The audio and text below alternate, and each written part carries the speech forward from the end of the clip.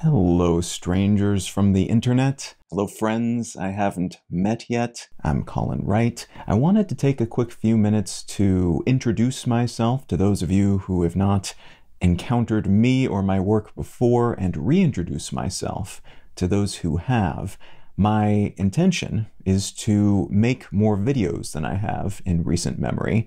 I've had this YouTube channel for ages, and I've made quite a few videos of various sorts. I even did something kind of like this, the Colin sitting in front of a camera talking at the audience style video in the past, but it's been a long while, many years since I've done that. And most of what's gone up here in the years since has been promotional stuff, interview stuff, and my podcasts, which are primarily audio. And so before I jump back into doing more of this type of video, I wanted to make sure you have a sense of who it is that's talking to you. So, as I said, my name is Colin Wright. I am an author, I am a podcaster, I speak to crowds of five and crowds of 5,000 at a variety of different venues, ranging from universities to retreats to book signings, things of that nature. And I speak and record and write about all sorts of things, ranging from the publishing industry to the history of the Green Revolution to pursuing one's curiosity and being a lifelong learner, trying to build all of that into what you do for a living and what you do to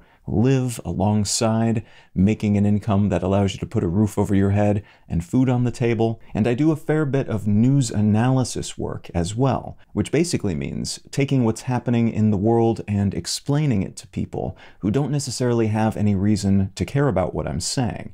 And sometimes that means summarizing and providing some context, and sometimes that means full length expositions, getting into the nitty gritty details of why something happened and why you should care. I also speak a fair bit about travel, which is something that I've done for a very long time. In 2009, I started traveling full time, moving to a new country every four months or so based on the votes of my readers. I did that for many, many years, and then I started mixing up my routine a bit, full timed in a 1985 Holiday Rambler Imperial RV that I fixed up and drove that around North America while also on a 50 city speaking tour. I have taken the trains around Europe. I've taken the buses around South America. I've visited all 48 contiguous United States at least two to three times a piece. And one of those complete circuits I did riding only on Greyhound buses. The idea behind all these different types of travel is to try to expose myself to these spaces between places, all the places that we might otherwise miss, the people you might not encounter, and really just trying to expose myself to different ideas and backgrounds and collections of experience than I have had as part of a larger effort that permeates all of my work and not work things that I do, of basically trying to three dimensionalize my view of the world rather than leaving it flat. When I discover there's something in my life that is two dimensional, I try to round it out by doing this type of exploration. And some of that is research based, some of it is more hands on, getting out into the world, meeting people, doing things, living places. But across all of these efforts is that core goal of trying to learn and grow and become a better and better version of myself each and every day as much as is possible. Now, the tangible manifestations of all of this work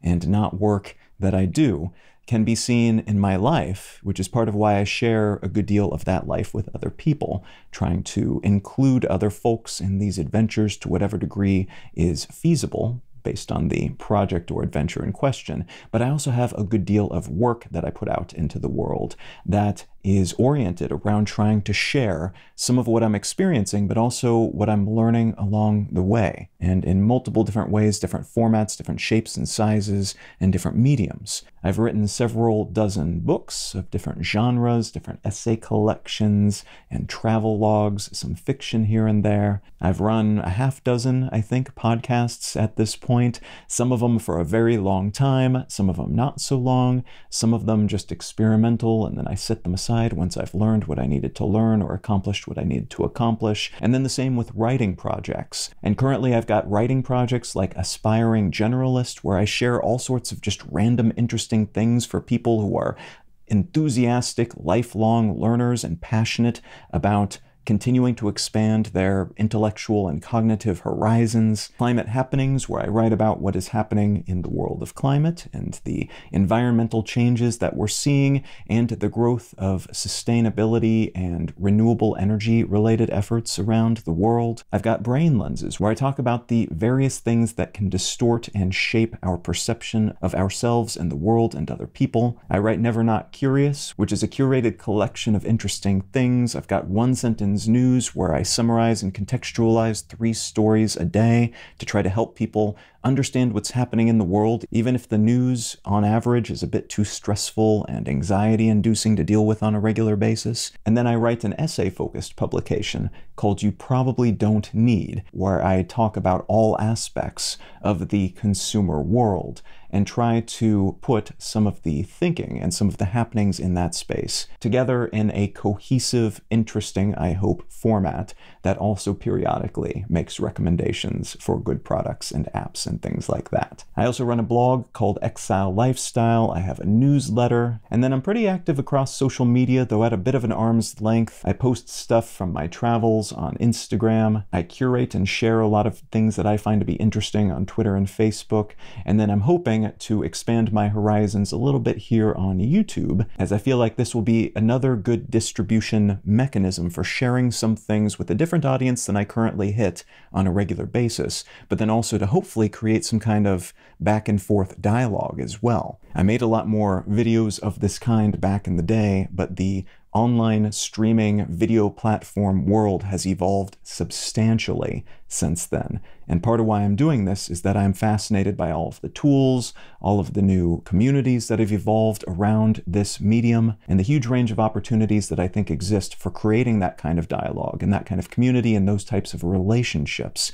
when you can see who it is who is talking to you rather than just hearing my voice talking into your earbuds throughout the day if you listen to my podcasts or through the words that I choose to string together if you read one of my publications. Now, the next question is what will I be sharing here? And the answer to that question is I have absolutely no idea. I've thought about it, but I kind of want to leave it open it will probably be centered around videos that are different permutations of this, of Colin on camera talking to you through that camera. I'm unlikely to get into any TikTok dance video crazes or do anything too highly produced. I don't have a documentary team. It is just me and my equipment here at home and when I'm on the road probably as well recording these things. So that's a lot of effort for one person to do. That's a lot for one person to juggle alongside all of my other projects. So whatever fits within that schema, I will absolutely try but a lot of it will probably be focused on this sort of thing me talking at camera, presenting different sorts of ideas, maybe in different orders, probably in a more clean and fancy way over time as I get better with these tools. But that is generally what you can probably expect, at least for the foreseeable future. Now, within that, I will probably do expansions on ideas from those other projects, other things that I'm writing about, other things I'm interested in or that I've just learned that I think would be fun to share in this format. I will almost certainly do some kind of Q&A thing. I had a project for a long time, a column that I wrote called Ask Colin, so I will probably bring that back in this format. It's something I'd like to try out. You can send me a message, send me a question, leave it in the comments, or send it via email if you choose to do so, and I'll try to get around to that, though I also have a, a backlog of questions from readers and such already in my inbox that's been burning a hole in my pocket. I might do some explainers. I'll probably do some video essays of the kind that I did back in the day, but now from a perspective of somebody who is much older and hopefully a little bit wiser. There's also a chance that at some point I'll do something wildly different. I'll give some kind of tour. I will do interviews maybe. There's things that I do on social media that could translate well here. I give tours of museums and sometimes I share something of the current home base that I'm living in. That could be interesting interesting as well, but I'm really leaving it up in the air because I'd like to go with what makes sense in the moment as I have a good idea rather than boxing myself in from a place of relative ignorance, of just getting started again making assumptions about how it will be, and then forcing myself to align with that, even if things evolve in such a way that it makes sense to do something entirely different. So I'm leaving it pretty open. It'll probably be mostly this. I would love to hear from you if you have any ideas, and also do send me questions if there's any questions you'd like me to answer. Now, however things go from this point forward, I am very excited to be here. I'm excited to witness firsthand all of these changes that I've been keeping up with from a distance happening within the online video platform space to use these tools to try to get better at them, to see what I can do sharing and exploring some of the things that I care most about with people via this medium as opposed to the other ones that I'm more comfortable with. And I'm looking forward to engaging with you as well. Now, something that I like to do in my newsletter is invite people to share something about themselves after each email goes out. I love getting that back and forth,